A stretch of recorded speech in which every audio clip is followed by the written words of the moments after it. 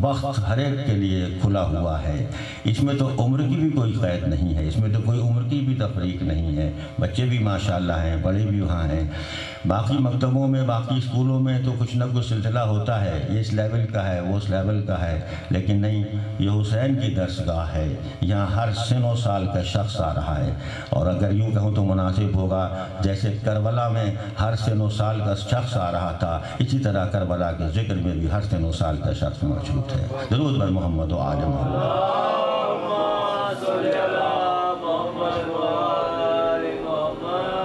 तो आज इस दसगाह हुसैनी का ये आठवां दिन और हमने मुसलसल इसी आय करीमा को तलावत करने की सादत हासिल की और आज तकरीबन किसी हद तक गुफ्तु को समेटने की कोशिश करूँगा और क्योंकि कल की मजलिस तो खालिसता शब आशूर की मजलिस होगी और आज आप बराबर इस पर गुफ्तु सुनते आ रहे हैं और बहुत से पहलू सामने आए। लेकिन इजमालन और अगर ब्रीफली कहा जाए और अगर समराइजिंगली कहा जाए तो बात यही है कि इल्म जो है, वो एक ऐसी कैफियत का नाम है कि जहाँ पूरी शख्सियत इंसान की इन्वॉल्व हो जाती है।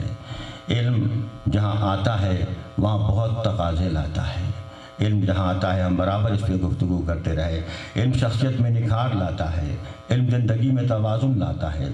इल्म इंसान को बंदगी का मफहम बताता है। इसलिए जहाँ जहाँ इल्म आता है, वहाँ हयात का मफहम आता है।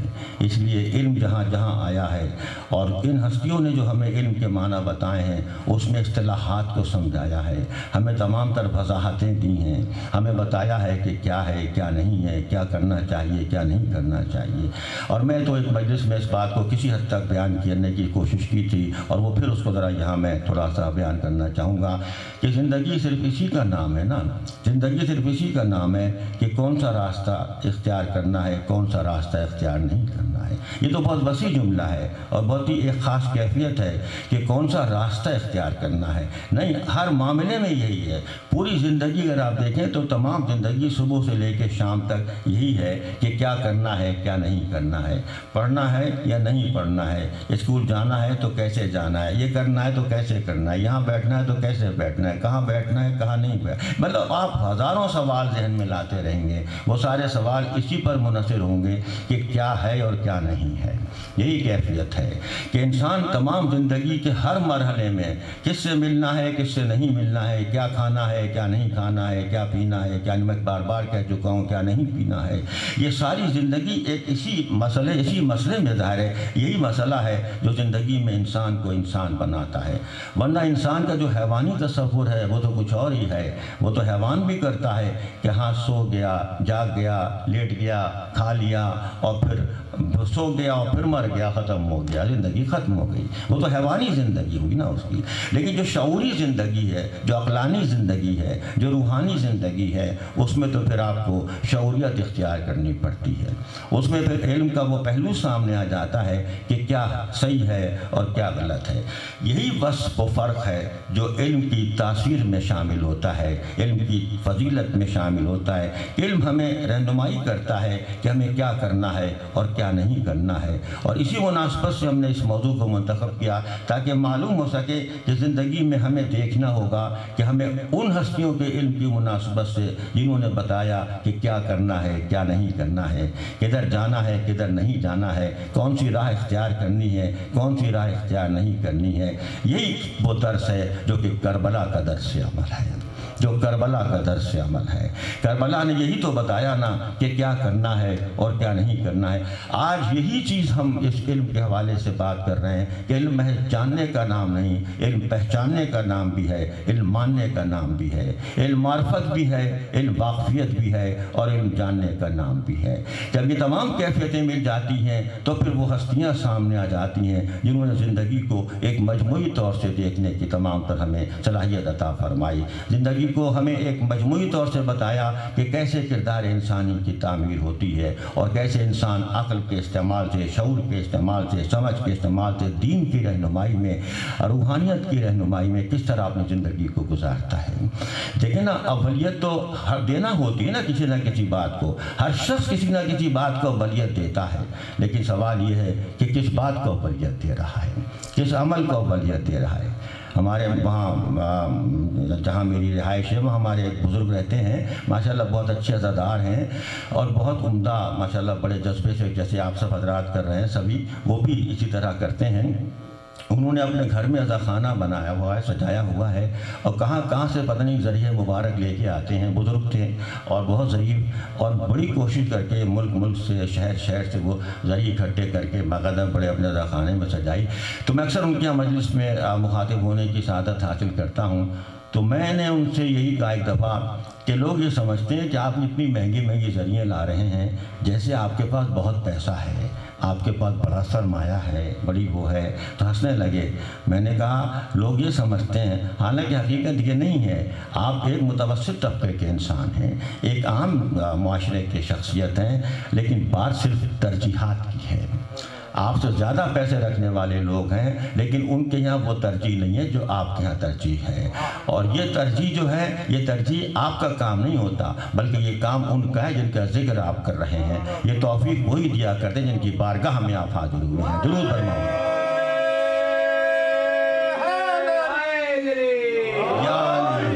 ये देखे ना ये बहुत तो ज़िंदगी में हर मरले पे आपको सोचना पड़ता है, क्या है, क्या नहीं है, कहाँ वलीयत है, कहाँ नहीं। आपको भी ज़िंदगी में ऐसे बहुत से मौाक़े सामने आए होंगे, मुझे भी आए हैं कि जब मुझसे किसी ने कहा अच्छा आप मजलिस पढ़ते हैं, आप ज़िक्र करते हैं अच्छा एक दफ़ा वाकई एक साहब ने मुझसे कहा कहने लगे मैं देखें बहुत ही अजीब अंदाज से गुफ्तु हो रही है। मुझसे कहने लगे कि क्या ये आपकी हॉबी है? मैंने कहा, नहीं नॉट एग्जैक्ट नॉट हॉबी आपने क्या लफ्ज़ बोल दिया? ये हॉबी नहीं है। तो मैं जानता था उन साहब को कि आप उनका मशगला क्या है। मैंने कहा, देखें हॉबी नहीं है, ये मेरी इबादत है। ये मेरी इबादत है, मेरी सादत है। और मेरे लिए बहुत ही बायस शरफ है। ये मेरे लिए इज़्ज़त अफजाई है। मेरी इतनी शनाख्तें हो सकती हैं और हैं, अल्लाह का शुक्र है, आपकी भी पेश माशा तबला तशीफ़ फरमा है।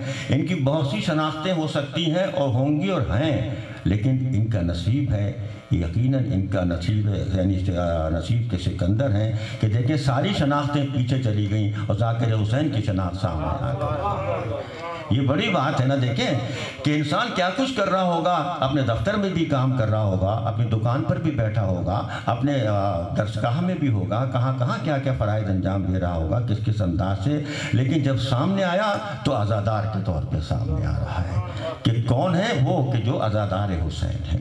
तो इसमें यह तरजीह का मामला है और ये तोफ़ी का मामला है। जब आप इस बारगाह में आते हैं और दुआ के लिए हाथ उठाते हैं तो आपको तोफ़ीक़ात में इजाफा होता चला जाता है। तो मैं उनसे कहा करता था कि देखें, हॉबी नहीं है, इबादत है इबादत है। अगर किसी के चेहरे को देखना इबादत है तो उसका ज़िक्र करना भी इबादत है। ज़रूर पर मोहम्मद वाले।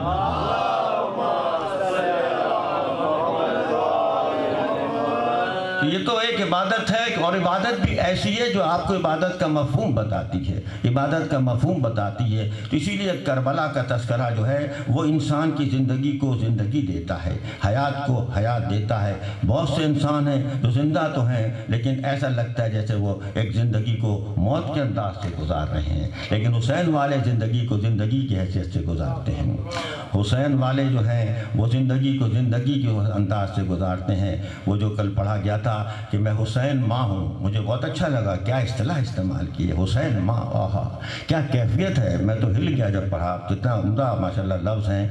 हुसैन माँ से जो वाबस्ता है, उनकी अकीदत से वाबस्ता है, उनकी बारगाह में सलाम कर रहा है तो उसकी ज़िंदगी, फिर इबादत की ऐसी ज़िंदगी हो जाती है कि इबादत गुजार बंदा भी होता है और वो सलाम गुजार बंदा भी होता है।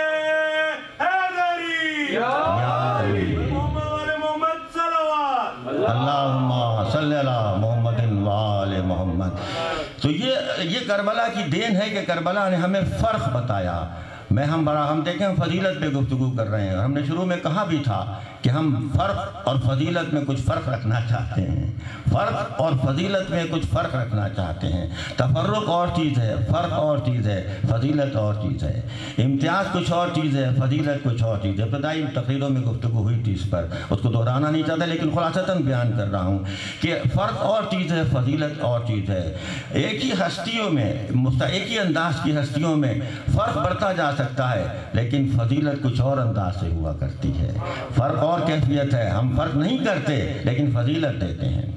हम फ़र्क नहीं करते, हम फजीलत देते हैं। सारे, यकीनन एक क्लासरूम है। हर बच्चा तालब इल्म है। ज़ाहिर है, कोई फ़र्क नहीं है। हर एक स्टूडेंट है। लेकिन बहरहाल, कहीं ना कहीं फजीलत तो आ जाएगी कहीं ना कहीं तो फजीलत आ जाएगी। क्योंकि हाँ वो फजीलत खुद ब खुद सामने आ जाती है। वो फजीलत खुद ब खुद सामने आ जाती है। तो फ़र्क और चीज़ है। फ़र्क रंग की बुनियाद पे है, फ़र्क नस्ल की बुनियाद पे है, फ़र्क इलाके की बुनियाद पे है, फ़र्क इंसान के ज़बान की बुनियाद पे और बहुत सी गरीब दौलतमंद, बहुत से तफरीक इंसान ने माशरे में पैदा कर रखी हैं। लेकिन जो जो फजीलत है, वो तो सिफ़ात आलिया की बुनियाद पर है। वो तो इल्म की बुनियाद पर है। वो तो अक़ल की बुनियाद पर है। वो तो शूर की बुनियाद पर है। जब ये सारी फजीलतें सामने आ जाती हैं तो फिर मालूम होता है कि वही हस्ती फजीलत माप है, जिसने बता दिया कि जहाँ ज़िंदगी आपको मजमू तौर से नज़र आए, वही ज़िंदगी हुआ करती है। यानी अली इबन अबी तालिब सलाम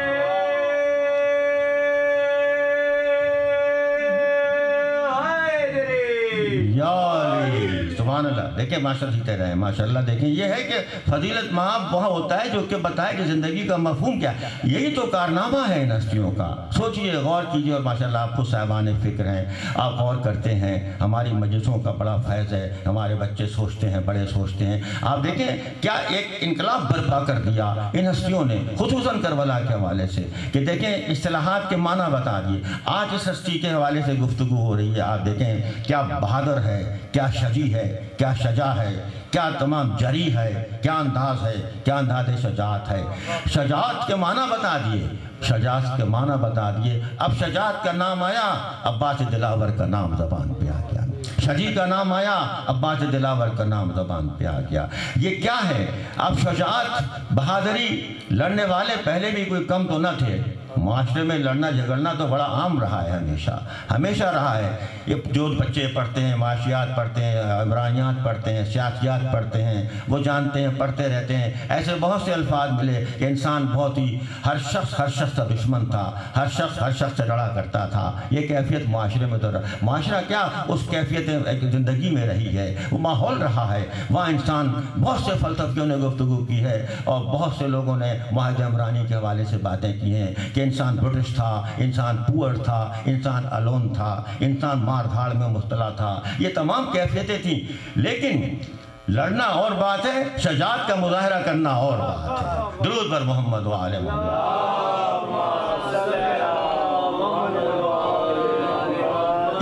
ये फजीलत जो है, ये इसी बारगाह में मिलेगी आपको। कि देखें शजात और चीज़ है, अजब अल्फाज जबान हैं। शजात और चीज़ है जंगजूई और चीज़ है। जंगजूयत और चीज़ है शजात और चीज़ है। तमाम लड़ना, झगड़ना, और चीज़ है और चीज़ है। और अगर कहूँ दहशत गर्दी और चीज़ है और चीज़ है। टेररिज्म और चीज़ शजात और चीज़ है। टेररिज्म तो कमज़ोरी है शजात बहादरी है।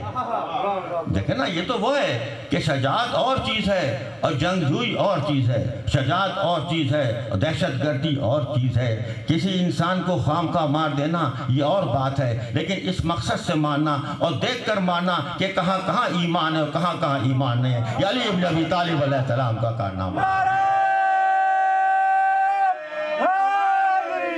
या अली या अली, माशाल्लाह जीते रहे कीजिए एक बंद में पाबंद हूँ वरना।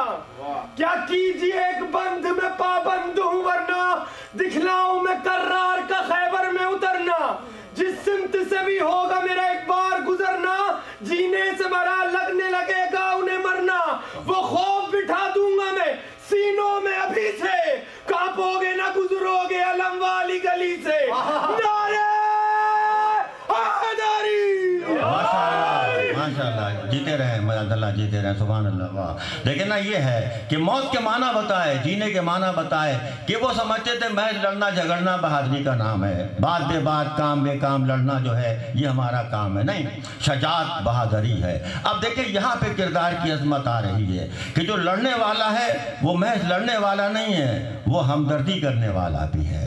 जो यकीनन बहुत ही बहादुर दिल का इंसान है, वो काइन हार्टेड भी है, वो रहम दिल भी है। वो रहम दिल भी है।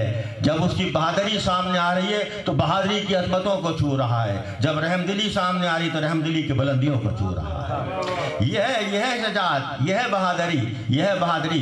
अगर किसी का, अगर यकीनन कोई शख्स अपने चक्कर खा के लड़ते लड़ते गिर जाता है उसके सामने तो फिर वहाँ से चला आता है। कहता, अब मैं इसे नहीं लड़ूँगा, जो अपना दिफा नहीं कर सकता, मैं उससे लड़ना नहीं चाहता हूँ। यह किरदार शजात सजी का मामला यहाँ पर ही आ गया। इन हस्तियों ने बताया कि बहादरी क्या है, बहादरी क्या है शजात क्या है।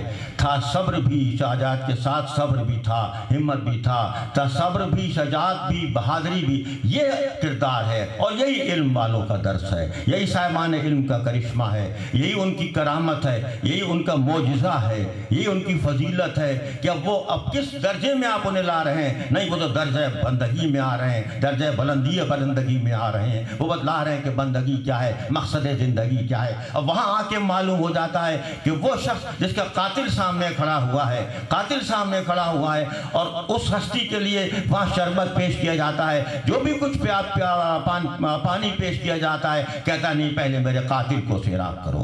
यह है देखें यह है यह है इल्म की फजीलत। यह साहिब इल्म की फजीलत कि साहिब इल्म जो है वो जंगजू नहीं है। साहिब इल्म एक बाशूर सजा का नाम है। बस ये देखें, ये फजीलत इल्म है, जहाँ मालूम हो रहा है कि हाँ हमारी बहादरी है। आज एक जरी का तस्करा हो रहा है, एक बहादुर का तस्करा हो रहा है। अभी सलाम पढ़ा गया, अभी बाखदा माशाल्लाह कितनी उमदगी से यहाँ अशार बयान किए गए। ये उस शही का तस्करा है जिसने बहादरी के माना बता दिए और बता दिया कि इंसान की ज़िंदगी में बहादरी किसे कहते हैं। वो तोहहीद की तालीम भी दे रहा है और आज का मामला तो नहीं है, बड़े अरसे की बात है। अरसे का तयन भी मैं नहीं कर सकता। बाप की गोद में बच्चा बैठा हुआ है। बाप की गोद में बस गुफ्तु बहुत ही खास एक मखसूस कैफियत में हो रही है। सोचिएगा और गौर कीजिएगा, बाप की गोद में बच्चा बैठा हुआ है और बाप कह रहे हैं कि हाँ बेटा कहो, एक आपने बारहा पढ़ा भी होगा और सुना भी होगा, लेकिन चूँकि आज उस हस्ती का तस्करा है तो मुझे बयान करना चाहिए कि तोहहीद को कैसे समझाया है तोहहीद को कैसे समझाया है। आई ये वो हस्तियाँ जिन्होंने तोहहीद के माना बताया, जिन्होंने रबूबियत के माना बताए जिन्होंने अल्लाह की वहदानियत के माना बताए। जब बाप ने कहा कि हाँ बेटा, कहो एक, कहा एक। फिर कहा, दो। कहा, बस दो के बाद दो में खामोशी आ गई, खामोशी आ गई। तो बाप ने पूछा कि, बेटा, मैंने एक कहा तो तुमने फ़ौरन दोहरा दिया एक, मैंने दो कहा तो तुम खामोश हो गए। तो फिर वो बच्चा कहता है कि हाँ जिस जबान से एक अदा हो जाए, उससे दो कैसे अदा हो सकता है? उससे दो कैसे अदा हो सकता है? उस बच्चे का नाम क्या है? उस बच्चे का नाम हज़रत अब्बास है। रोज पर मोहम्मद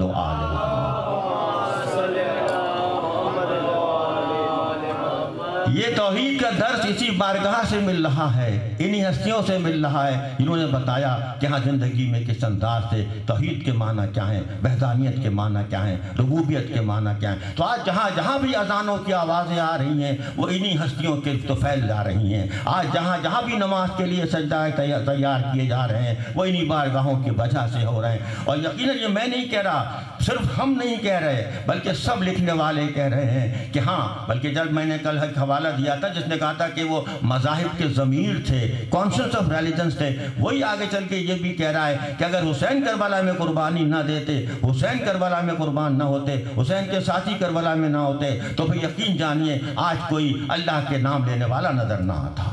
ये कारनामा हुसैनी है। तोहहीद का समझने वाला ना आता कोई। तोहहीद का समझने वाला ना, सिर्फ़ हम नहीं कह रहे हैं, बल्कि तमाम साहिबान एहसास कह रहे हैं। बिला तफरी के मज़हब व मिलत कह रहे हैं। वो तमाम जो मोहब्बत रखने वाले हैं, वो कह रहे हैं। जो एहसास रखने वाले हैं, वो कह रहे हैं। तो उन्होंने बताया कि हाँ क्या है, क्या हसासियत है, क्या अहमियत है और क्या बुजुर्गी है कि करबला वालों ने हमें दर्श से अब बंदगी भी दे दिया और मकसद ज़िंदगी भी समझा दिया। तो अब्बास मोहब्बतों का नाम है, अब्बास चाहतों का नाम है, अब्बास सहारे का नाम है, अब्बास दिलासे का नाम है। अब देखिए, जहाँ पानी आया, वहाँ अब्बास का नाम आ गया, जहाँ प्यास का नाम आया, वहाँ अब्बास का नाम आ गया। बस आज मुख्तर सी गुफ्तु कर रहा हूँ, क्योंकि आप कल ज़ाहिर है गुफ्तु समेटी है हमने। और हमने यही कहा कि इल्म को समझना है तो बारगाह इल्म में आओ, बारगाह बाबुल इल्म में आओ। बारगाह मदीनतुल इल्म से बारगाह बाबुल इल्म ने कैसे इल्म हासिल किया है? बता दिया है कि मैंने इस तरह से इल्म हासिल किया है, जैसे ऊँटनी का बच्चा अपनी ऊँटनी से ज़ाहिर है, कैसे कैसे आगे पीछे चल के हासिल किया करता है। जैसे तायर किस तरह अपना दाना दिया करता है, ये इल्म का वसूल का अंदाज है। जब ये सब हस्तियाँ आ रही हैं। तो करबला में हज़रत अब्बास बता रहे हैं कि प्यास क्या है, पानी क्या है, पानी की अजमत क्या है। बहुत सी बातें आपने सुनी होंगी, लेकिन हाँ हज़रत अब्बास जब करबला में हैं तो अलमदारी के फ़रज़ अंजाम दे रहे हैं। जनाब इमाम अली मकाम ऐसे मकाम पे हैं, जहाँ हज़रत अब्बास का अलम नज़र आ रहा है। हज़रत अब्बास का अलम नज़र आ रहा है। जनाब जैनब पूछती हैं बार बार कि आप क्या देख रहे हैं? आप किसको देख रहे हैं? तो कहते हैं, बस मैं अब्बास का अलम देख रहा हूँ। अब्बास का अलम देख रहा हूँ। ये अलम वाले वो हैं जिन्होंने बता दिया कि अलम की अजमत क्या है, अलम का मफहूम क्या है, अलम के मानी क्या हैं। और आज देखिए कि वो जो किसी ने किसी को दिया था खैबर में जनाब इफ्तार आरिफ साहब कहते हैं ना आ, किसी ने किसी को दिया था खैबर में वो दिन और आज का दिन अब अलम हमारा है। अब अलम हमारा है जब अलम हमारा है तो ज़ाहिर है अलम की मुनासबत से जो जो कैफियतें हैं उनसे हमारी वाबस्तगी है। दुनिया मुतहैर ना हो ये शायर है। ये अल्लाह की निशानियाँ हैं। अल्लाह खुद कह रहा है कि तुम अल्लाह की निशानियों को ताज़ीम की निगाह से देखो और क्यों ताज़ीम की निगाह से देखो? क्योंकि तुम्हारे दिलों में तखबा मौजूद है। तखबा तकबलूब मिन तकबलूब यकीन जब तखबा मौजूद है, अब आप देखें, इससे पहले भी तखबा है, इसके बाद भी तखबा है। तखबा इसका सबब भी है तखबा इसका नतीजा भी है। तकबा इसका सबब भी है शायर अल्लाह अलम की मुनासबत से बात याद आ गई। अलम है, ताजिया है, जुलूस है आजूला है, अताबूत है। ये सारा सिलसिला क्या है? ये अल्लाह की निशानियाँ हैं। अल्लाह की निशानियाँ शायर अल्लाह अगर और बहुत सी मुनासबतों से शायर अल्लाह बयान किया गया तो मुझे कहने दीजिए, जो चीज़ अल्लाह की जानब तवज्जो दिलाए, अल्लाह के नाम को ज़िंदगी दे, अल्लाह के कलाम को ज़िंदगी दे, वो शायर अल्लाह में शुमार हो जाएगी। क्योंकि वो अल्लाह की निशानियाँ हैं, वो अल्लाह की पहचान कुरान है। अल्लाह जब सामने आता है तो इस अंदाज से आता है। यकीन जब उसका कलाम सामने आता है, उसका निज़ाम सामने आता है, उसके मफहूम को समझने के लिए, मानी के समझने के लिए उसकी पहचानें सामने आ जाती हैं। ये सारी निशानियाँ शायर हैं। ये शायर हैं। अब अगर कोई इसको बारगाह एजदी में यकीन सजदा रेज होकर इस तरह सोचता है और महसूस करता है तो जहाँ जहाँ अकीदतमंद मौजूद हैं वह अल्लाह की निशानियों को यकीन अकीदत की निगाह से देख रहे हैं। ताज़ीम की निगाह से देख रहे हैं। मायूसिम का लफ्ज इस्तेमाल हुआ। ताजीम लफ्ज़ों पे गौर करने के मादी हैं। ताजीम का लफ्ज इस्तेमाल हुआ है। सजद ताजीम कुछ और होता है सजद इबादत कुछ और होता है। मफहूम और है। लेकिन यहाँ पे इतना कहूँगा ताजीम की निगाह से देख रहे हैं। ताजीम की निगाह से ये भी तोफ़ीक की बात है। ये भी तोफ़ीक की बात है कि बच्चे जुलझना के साथ कैसे अकीदत के साथ जा रहे हैं। बच्चे ताबूत के साथ कैसे अकीदत के साथ जा रहे हैं। बच्चे आ, अलम के साथ कैसे साथ साथ जा रहे हैं और अलम अब्बास का अलम है। अलम अब्बास का अलम है। अलम के साथ मशकीज़ा भी बंधा हुआ है। अलम के साथ मशकीज़ा भी बंधा हुआ है। इस अंदाज से है कि देखो जहाँ जहाँ अब्बास का नाम है, वाह वाह सकीना का नाम है। जब वक्त आखिर था तो जनाब अब्बास ने कहा था कि मेरी कब्र पे लिख देना, यहाँ सकाए सकीना प्यासा शहीद किया गया है। यहाँ प्यासा दफन किया गया है। अब्बास, हाय सकाए सकीना अब्बास, बड़ी मोहब्बत हैं, बड़ी मोहब्बतों का नाम है। जनाब ज़ैनब से जब रुखसत हुए हैं तो जनाब ज़ैनब कह रही हैं कि हाँ भाई, अब मुझे मालूम हो रहा है, मेरे बाबा ने वक्त आखिर क्या कहा था? किस अंदाज से कहा था? क्या यकीनन जब इस तरह मोहब्बत का इजहार किया था और बताया था कि इन बाजुओं को किस तरह रसीदों से बांधा जाएगा तो मैंने कहा था, अरे जिसका अट्ठारह भाई जिसके अट्ठारह भाई हों, उसके साथ ये क्यों लेकिन अब मुझे यकीन यकीन आ गया, अब्बास जा रहे हैं, अब्बास जा रहे हैं। अब मसाइब आलाम के पहाड़ सामने आ रहे हैं। हाय बीबी जैनब, आपको वो वक्त याद आ रहा होगा। मैं मसाइब में तरतीब का आदि नहीं, मसाइब तो गिरिया है, मसाइब तो बयान है। मसाइब तो यकीनन एक इजहार ताजियत है, एक पुरसा देना है। हाय बीबी जैनब, आपको वो वक्त याद आ रहा होगा, जब मदीने से रवाना हो रहे हैं। अब बिठा कौन रहा है? अब्बास बिठा रहे हैं ना? हाँ इधर इधर आइए, इधर बैठिए, आप इधर आइए, आप इधर तशरीफ़ रखिए। हाय बीबी, आज अब्बास जा रहे हैं। आए रुखसत आखिर है, अब्बास रुखसत हो रहे हैं। हाय वसीयतें सामने आ रही हैं। हाय मुख्तलिफ़ हिदायतें सामने आ रही हैं। लेकिन मौला अब्बास, जब आपने ये सब कुछ देखा और जब आखिरी वक्त आया, हमने कल भी ये सादत बयान हासिल की थी तो यकीनन आपने निगह आखिर इमाम आली मकाम पे डाली थी। फिर इमाम ने कहा था कि भाई, बस एक बात है कि तुमने हमेशा मुझे मौला कहा है। एक बार भाई कह के मुखातिब कर लो। अब्बास, मैदान जंग में गए। हाय, था सब्र भी। शुजात हिम्मत के साथ साथ, था सब्र भी। शुजात हिम्मत के साथ साथ मस्कीदा भर लिया, मगर पानी पिया नहीं। मस्कीदा भर लिया, मगर पानी पिया नहीं। अब्बास आए, बस चंद आखिरी जुमले। अब्बास आए मस्कीदे पे आए, इस तरह मस्कीदे को छेदा गया। पानी ज़मीन ने पी लिया, लेकिन सकीना प्यासी रह गई। ज़मीन ने पी लिया, मगर सकीना प्यासी रह गई।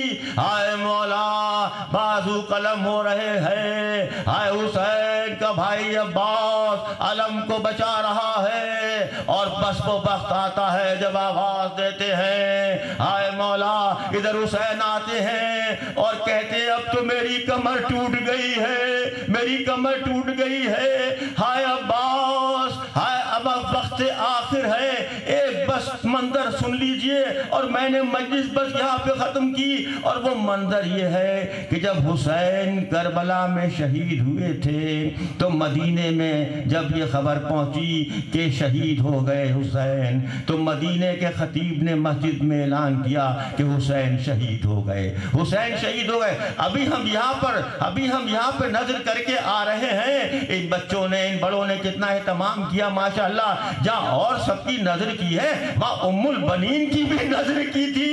मेरी आँखों से आँसू रुक नहीं सके। उम्मुल बनीन की नज़र करी। हाय बीबी उम्मुल बनीन, जब ऐलान हुआ हुसैन करबला में कत्ल हो गए तो एक बीबी सिया चादर ओढ़े, मिंबर के पास आई, बस आखिरी चंद जुमले और कहा, क्या कहा? क्या हुसैन कत्ल हो गए? हुसैन शहीद हो गए? कहा, हुसैन शहीद हो गए। तो पूछा, क्या वहाँ अब्बास नहीं था? क्या वहाँ अब्बास नहीं था? आए पूछने वाले ने पूछा, अरे क्या आप अब्बास की वालिदा हैं? कहा, मैं अब्बास की माँ हूँ, अब्बास की माँ हूँ। तो फिर खतीब ने कहा अब्बास की वालिदा है तो सुन लीजिए कि हुसैन ऐसे शहीद नहीं हुए। पहले आपके बच्चे शहीद हुए, आपके बच्चों का बच्चे शहीद हुए और फिर हुसैन शहीद हुए। बस ये सुनना था, फिर बीबी उमुल बनीन वहाँ न ठहरी, बल्कि सीधी कब्र सैयदा पे गई और दोनों हाथ फैला दिए कि आज मैं बड़ी मुतमिन हूँ कि मैंने भी आपकी खिदमत की और मेरे बच्चों ने भी यकीनन मेरे लिए इतने अजीम हैं। हाय आज जहाँ जहाँ अब्बास का तस्करा हो रहा है, वह अब्बास का अलम भी आ रहा है, अब्बास का ताबूत भी आ रहा है। आओ बच्चों, आओ जवानों, लाओ, अब्बास का अलम बरामद करो। हाय ताबूत लाओ और सलाम करो इस ताबूत को। ये शायर अल्लाह है, ये अल्लाह की निशानियाँ हैं। इनको ताजीम से इनका इस्तकबाल करो। का मातम सकाए सकीना का मातम सकाए सकीना का मातम मौला हुसैन का मातम हर चल है हैं। हल चल है फौजे शाम में अब्बास आते हैं। हर चल है फौजे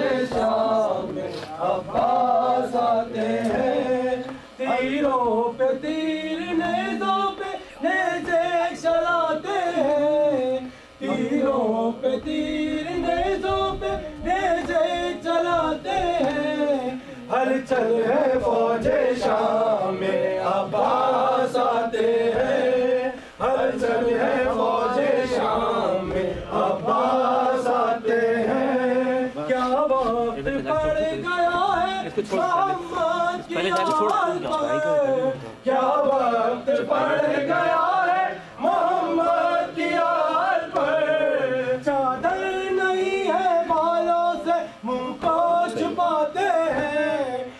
हलचल है फौजे शाम में। अब्बास आते हैं हलचल है फौजे शाम में। अब्बास आते हैं। असगर को माँ छुपाती है झुक झुक के गोद में।